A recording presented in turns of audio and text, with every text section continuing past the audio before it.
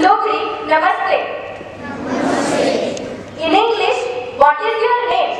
In Dogri, Tunda naam ke hai? In English, my name is Khushi. In Dogri, मेरा नाम खुशी है. In English, how are you? In Dogri,